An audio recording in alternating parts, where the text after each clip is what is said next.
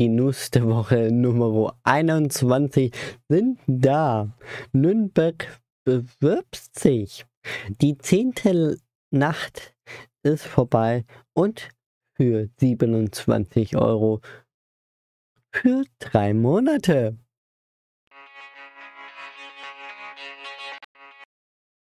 Die zehnte Landenacht der Wissenschaft war am 21.05.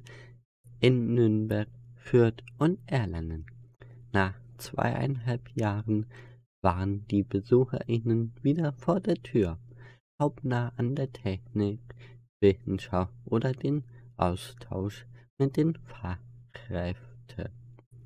Wir waren beim Jugendmedienzentrum Connect und Film, Kunst, Theater in der Nähe vom Aussee-Platz in Nürnberg.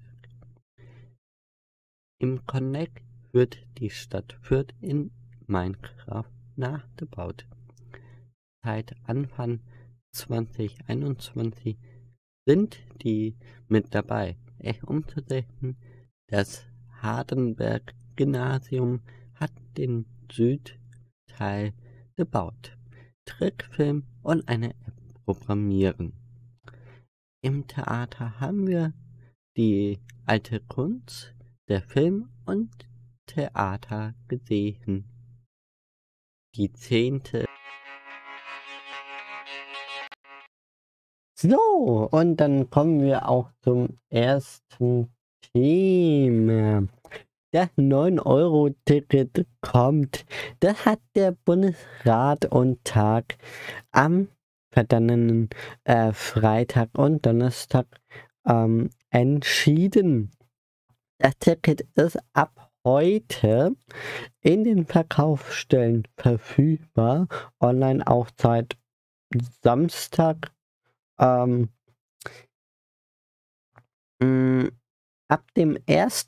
Juni auch am Ticketautomat der Deutschen Bahn. Ähm, das Ticket gilt für einen Monat und wird für drei Monate verfügbar sein. Pro Monat zahlen Sie 9 Euro, für drei Monate zahlen Sie 27 Euro. Mit dem Ticket können äh, kann man durch ganz Deutschland ähm, reisen mit den Regionalzügen. Ähm, ICE und IC sind von der Sache ausgeschlossen.